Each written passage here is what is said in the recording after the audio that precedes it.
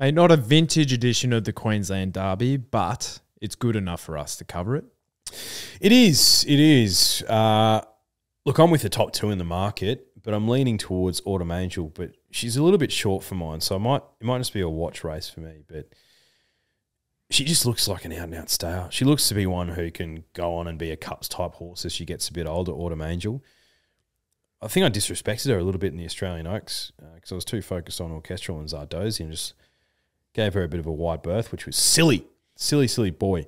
Um, very surprised that Peter Moody and Kat Coleman decided to run her up here in Queensland, but she must be doing super well. Otherwise, they wouldn't be. So she's on top for me. Sticky gate, but I trust Mark Zahra to get her into the right spot. And then, yeah, number one, Tannhauser.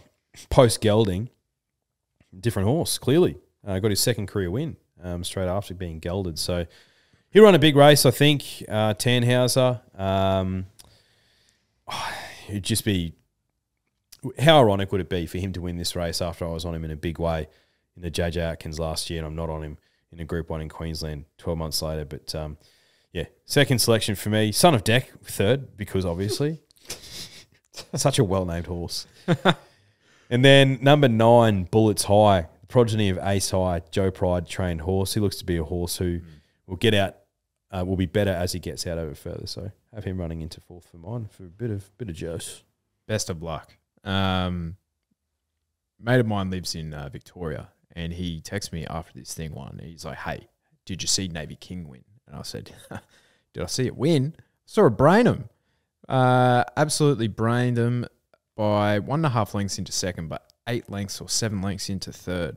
So that was his second consecutive run at 2,000 meters, and he was through the line, even putting even more lengths on him. So 2,400 meters, trust in the eye for this guy um, that Navy King can get the job done at $21 no less. I think he doesn't start that price on the day.